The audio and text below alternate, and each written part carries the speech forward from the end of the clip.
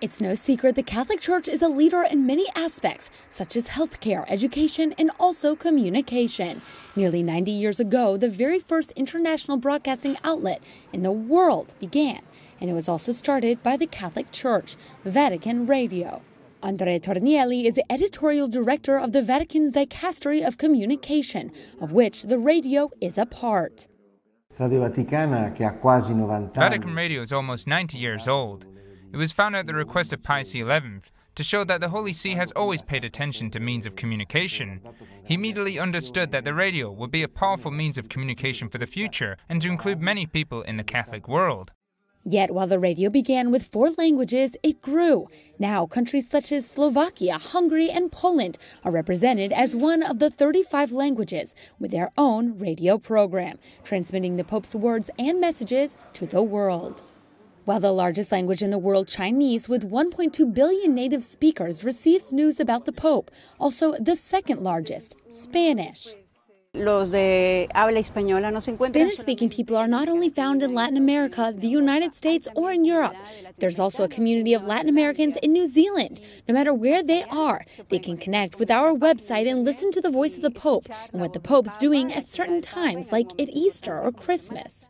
Most of the journalists who work at the radio have worked there for an average of 20 years. They've seen different popes come and go and learned each one's preferred mode of communication. One of the longest standing journalists is Sean Patrick Lovett. He's been at the Vatican Radio for 45 years. He's the director of English programming and has seen five popes. Paul VI, John Paul I, John Paul II, Benedict XVI, and now Francis, has brought and brings his own particular style but if I have to think of a turning point, it would be at 17 minutes past five on May the 13th, 1981, with the four shots that shook the world when Pope St. John Paul II was shot in St. Peter's Square just down the road. That was probably one of the, the great moments in, in my radio career, I think. The particular aspect about Vatican Radio is that each Korean program inside it is different. For example, the only channel in the entire radio that transmits live is Italian.